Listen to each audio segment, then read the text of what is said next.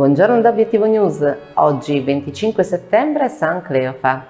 Il 25 settembre si celebra la giornata mondiale dei sogni, una ricorrenza dedicata ai sognatori che è anche un augurio perché i loro obiettivi si realizzano.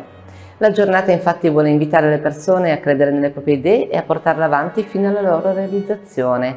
L'idea di creare questa giornata è stata di un'educatrice di fama internazionale che durante la sua attività alla Columbia University fonda questa celebrazione nel 2012. Lo scopo dell'educatrice era ed è quello di far riflettere gli individui sull'importanza di raggiungere i propri traguardi, invitando le persone ad agire per realizzare i propri sogni. I tre pilastri di questa giornata sono collaborazione, creatività e contribuzione, una giornata di azione globale che coinvolge tutte le comunità del pianeta.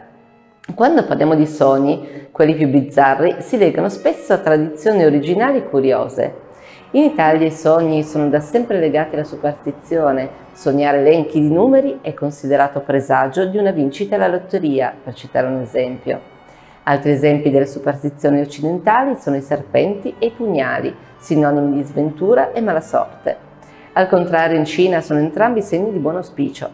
Ma anche il Giappone vanta alcune tradizioni originali. Una di queste è la credenza popolare secondo cui la difficoltà a prendere sonno la notte sia dovuta al fatto che si svegli nei sogni degli altri.